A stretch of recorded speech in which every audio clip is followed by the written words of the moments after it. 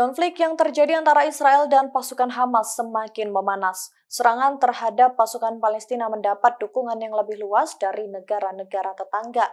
Terbaru Israel meluncurkan serangannya yang menargetkan wilayah di Suriah dan Lebanon.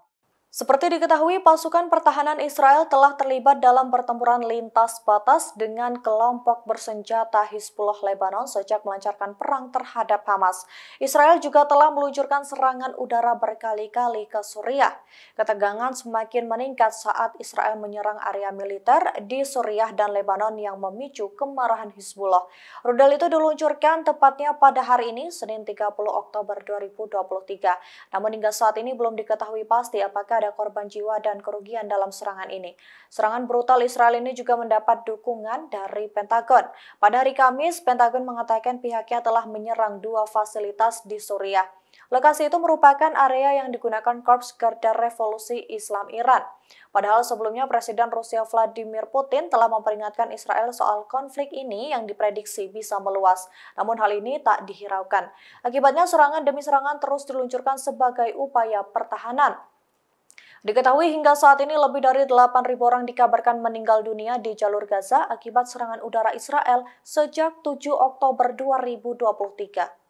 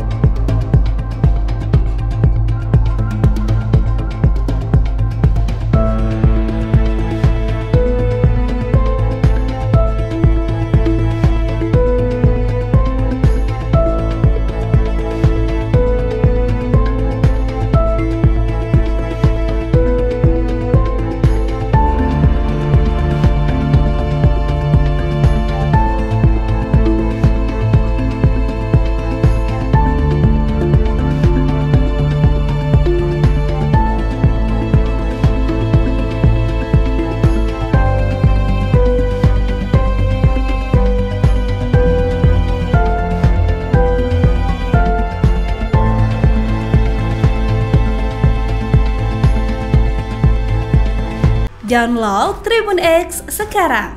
Menghadirkan lokal menjadi Indonesia.